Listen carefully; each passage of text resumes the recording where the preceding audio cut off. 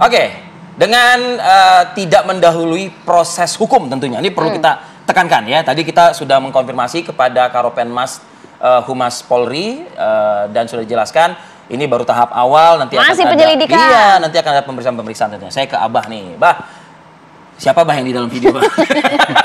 Masa panjang-panjang, Pi, langsung. Tanya balik, tanya sama produser, kenapa manggil Abah? Udah biasa, Bah. Simpelnya gini sekarang, kalau kita ngomong siapa, Ah. semua orang menanyakan siapa. Iya, Bah. Bebannya di orang telematika loh.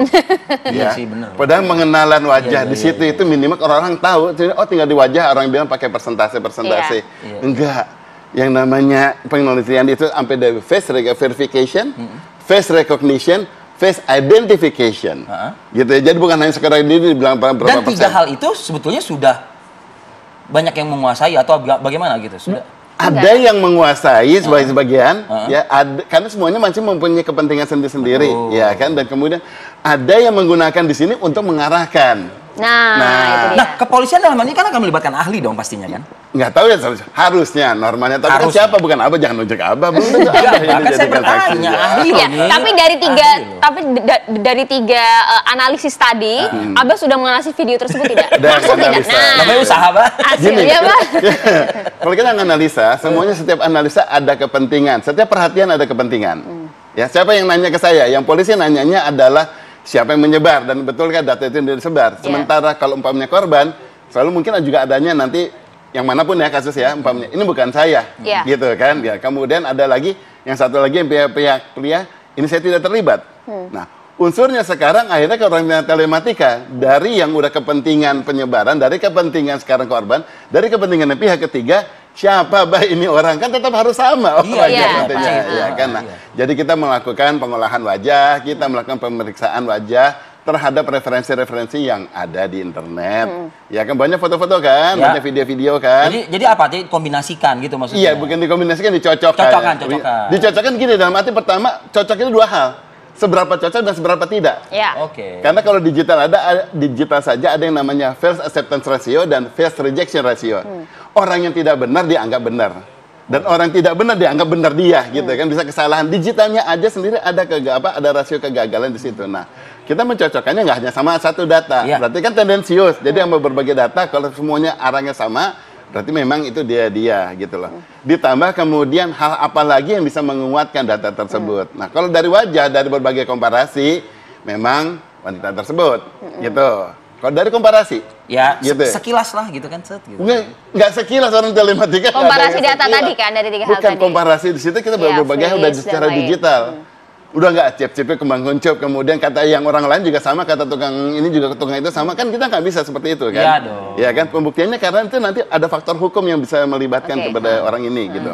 Nah kita melihat dari situ berbagai komparasi yang ada di internet. Itu kecocokannya. Ya, ya, gitu. Sudah ada dapat, oh iya semuanya mengarahkan kepada Oke. wanita ini. Seberapa 100%? uh, prosentase berapa 100%? besar?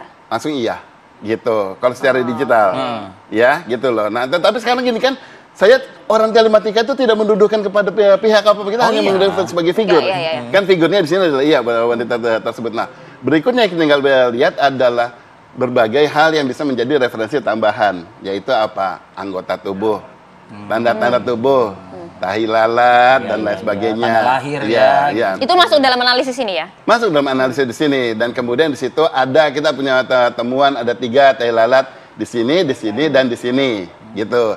Tinggal dicek eh, kepada yang bersangkutan nanti ya betulkah ada Tapi itu. pen- pencocokan eh, bagi apa eh, tanda-tanda di tubuh itu kan harus terkait dengan yang ada di dalam video Temuan, tersebut. ya gini, jadi dari temuan yang di video dan Ah. kemudian dicoba dikomparasikan dengan yang juga yang ter- tersebar. Oh, ada bagian yang memang misalnya itu yang kayak di eh, satu area itu orang kalau berenang kalau apa juga udah kelihatan kok. Ya. Gitu. Nah dari situ pas kelihatan ternyata Itu- ada yang kalian Itu tubuh. penyocokannya itu maksudnya pada saat pemeriksaan si pelapor itu gitu maksudnya. Bukan bukan pemeriksaan, kita sebagai memberikan referensi, referensi pe- penguat dia di sini gitu Hmm. kan. Ya, nah kemudian nanti untuk sampai kepada yang bersangkutan Nah, itu baru diperiksa kan yang bersangkutan nggak mungkin telematika yang memeriksa. Oh iya, iya penyidik. Iya kan penyidik. Ah, Nah hasil pemeriksaan penyidik itu juga kemudian kita komparasi. Kan penyidik melakukan pemeriksaan, Ah. Oke. diberikan harusnya kepada telematika untuk dipastikan ini hasil penyidikan. Eh, eh, nah, Akurat tidak gitu gitu ya? Iya.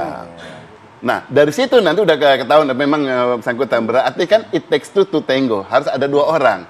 Kalau dia di situ dia sama siapa? Dia sama siapanya itu urusan interogasi. Ya. Setelah interogasi lanjutannya investigasi. Harus berapa persen uh, untuk Nggak pakai persentase udah Iya atau tidak tadi di kalau kata Iya Anda? tidak hanya Iya bahasanya tidak? tinggal menjadi saya. Oh, gitu? Kalau saya ngomong sekarang ini berapa baru kita diskusi tadi ya. Iya. Kalau kita melihat seseorang kemudian orang menanya, "Bah, kira-kira dia berapa uh, persen?" 68 persen, 72 persen, 63 persen misalnya saya bilang kayak gitu. 63 persen kata Mas Ari mungkin besar. Kata Mbak Ya enggak, enggak itu masih kecil. Debatable. Iya kan? Iya, debatable. Kemudian semuanya mempunyai hal yang namanya relatif. Relatif sama apa relatif tidak. Ya kan? Tapi kalau di digital, komputernya sendiri nggak bilang sekian persen kok. Komputer di sini si- Oh, Komputer apa? Match, not match gitu. Iya. Kalau kita akses kontrol pakai muka, kemudian komputer kan nggak bisa bilang, oh ini mukanya setengah persen, jadi bukannya pintu setengah. Enggak. Enggak Either is open or is closed. Oke, kalau Iya dalam kan? hal ini berarti hasilnya Hasilnya adalah yang yang bersangkutan, Oke. gitu lah. Tetapi sekarang itu bisa menambahkan, kita jangan lihat ke arah ke arah sana. Digital itu masih banyak banyak hal, ya kan di sini banyak hal yang kita harus lihatnya adalah penyebarannya. Karena digital adalah si penyebarnya, si Iya. penyebarnya kenapa dia menyebarkan, nanti dihubungkan balik.